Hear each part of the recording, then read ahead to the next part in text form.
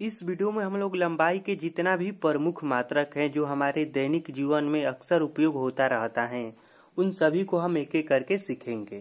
तो देखिए, इस तरह से तो लंबाई का कई को मात्रक है और बहुत सारा है, लेकिन उन सभी का हमारे दैनिक जीवन में उपयोग नहीं होता है।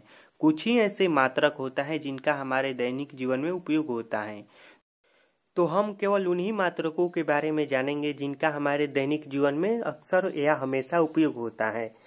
तो देखिए, हमने पहले नंबर पर रखा है दस मिलीमीटर, बराबर होता है एक सेंटीमीटर। सेंटीमीटर को तो आप सभी लोग जानते होंगे, और सेंटीमीटर बहुत ही फ़ेमस और प्रमुख मात्रक है लंबाई का। तो 10 मिलीमीटर मिलकर होता है एक सेंटीमीटर। तो इसको आप अच्छे से याद रखिएगा, यह बहुत काम लायक चीज़ है।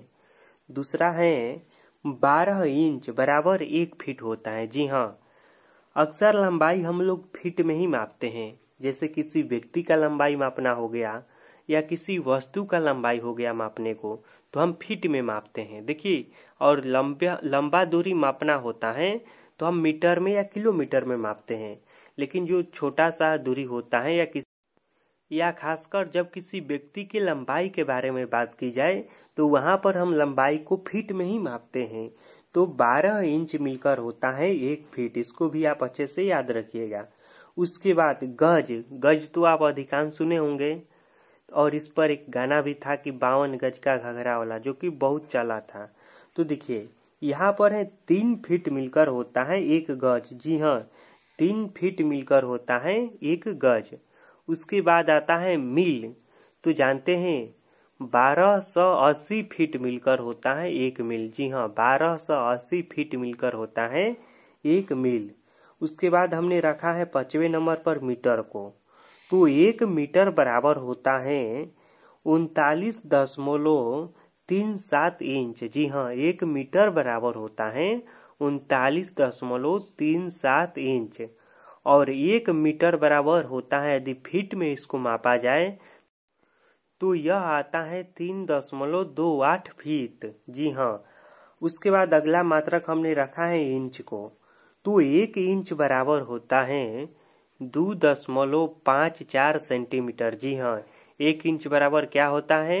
तो एक इंच बराबर होता है दो दशमलव पाँच चार सेंटीमीटर। उसके बाद है प्रकाश वर्ष।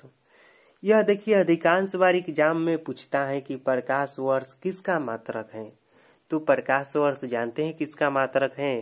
प्रकाश वर्ष दूरी का मात्रक है, लंबाई का मात्रक है। इससे लंबाई या दूरी मापा जाता है।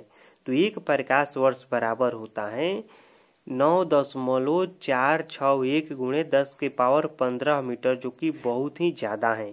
और यह जो प्रकाश वर्ष का जो मात्रक है, यह लंबी दूरी के लिए मापा जाता है। जैसे कि मापना होगा, पृथ्वी से चाँद कितना दूर है। तो हम प्रकाश वर्ष में मापेंगे।